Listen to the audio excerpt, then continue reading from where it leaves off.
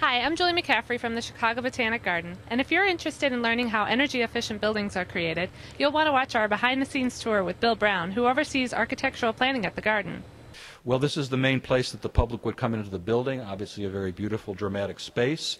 Our architect called it the Cathedral of Science. Certainly looks like a nave of a Gothic church, so that's uh, that's a good thing.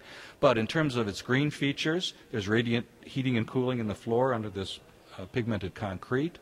Uh, we'll keep the space cooler in winter and warmer in summer, summer because visitors would come in dressed appropriately. And then in the collar seasons, there's a ventilation system that'll bring cool air in on hot days in March and October, for example. So this space uh, has a number of green features in terms of recycled material. The floor is uh, ground up tires. So you've got some black walls and white walls, uh, and uh, that's uh, that's a good thing. The hold of this space allows for maximum light to come into the building. When there's enough natural light, artificial lights go off, energy saved, good thing. I had mentioned to you earlier in our tour that the uh, floor is filled with tubes. What you're looking at here are the tubes coming to what's called a manifold. The tubes are the red objects that you see. And the manifold is a place where you can control each zone that the tubes cover. Uh, this is a black walnut uh, wood wall, and it is actually uh, made from a black walnut tree that was on the site. So, what about this bathroom is, is a green element? This is uh, metal shavings that's been uh, put into a, an epoxy sort of uh, aggregate binder, and actually quite beautiful, I think.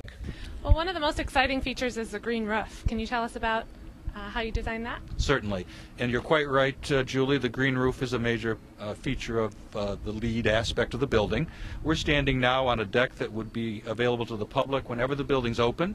Off to our left here, there's an array of photovoltaic panels. Uh, what they do is produce electricity from the sun.